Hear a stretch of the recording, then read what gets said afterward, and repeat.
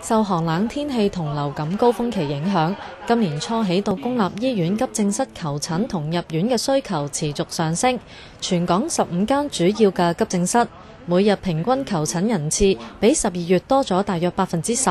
當中被分流為危殆、危急同緊急嘅病人，亦都顯著增加。誒依類病人呢，因為佢哋嘅病情比較嚴重啦，所以我哋需要額外人手咧去處理啲病人。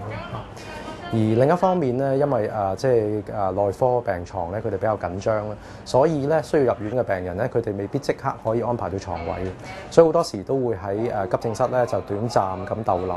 咁呢段時間咧，其實對於我哋即係急症室有限嘅空間同埋人手嚟講咧，其實係好大嘅壓力嚟。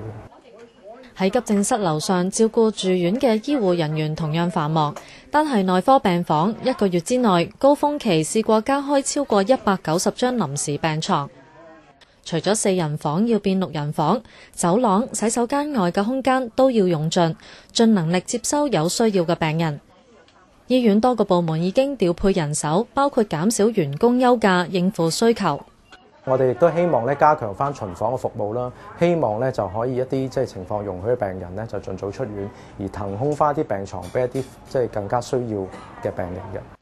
我哋亦都希望咧，就係舒緩到呢一啲急症醫院嘅壓力咯，又將一啲情況比較穩定嘅病人咧，轉送一啲非急症嘅醫院嗰度處理㗎嚇。咁我哋咧亦都係會減少咧非緊急嘅入院啦嚇。咁如果情況再惡化落去咧，我哋就會考慮咧就減少進行一啲緊非緊急嘅手術嘅。醫管局呼籲市民善用急症室資源，並耐心等候服務。希望市民同醫護人員加強溝通，互相信任，互相體諒。